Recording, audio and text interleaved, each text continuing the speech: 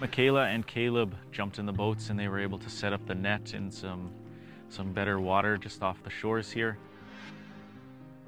They just climbed right in. I guess it wasn't working inside the boat, so they had to jump outside of the boat and, and pound the stakes in and set the net.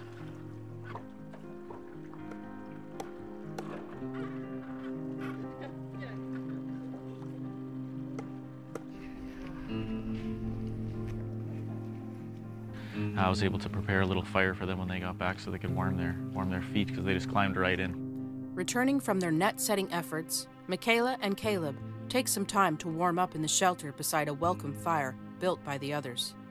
The lack of calories and workload has caught up with them. I think the net has potential to work. What do you think? I think it has potential. It's just not quite long enough yet. No. Yeah, we're gonna work on it a bit more. We're gonna attach a bit longer of a net. Yeah, I'll pro- we'll probably get like a more of a choose a, a weedier spot Yeah. on a more of a uh, a pointed part of the water. So I think that it'll be more effective that way.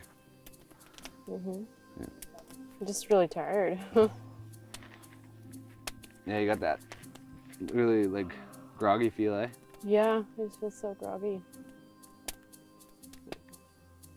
My brain hurts.